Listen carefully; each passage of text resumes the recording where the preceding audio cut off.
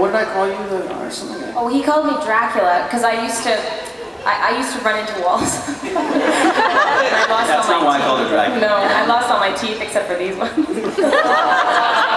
Conscious, she never had any teeth. I know, It was like, yeah, a toothless wonder.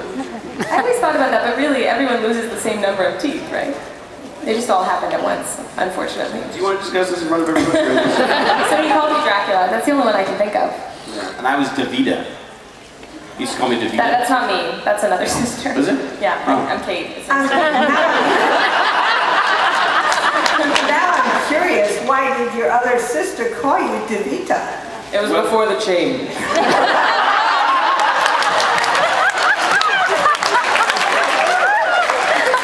when we, we were all these little blonde kids, and for some reason my parents didn't cut my hair. So we used to go into stores and stuff, and they would say, you know, well, girls, what would you like? I'm not a girl. I'm a boy. And then he started wearing makeup, and that really helped too.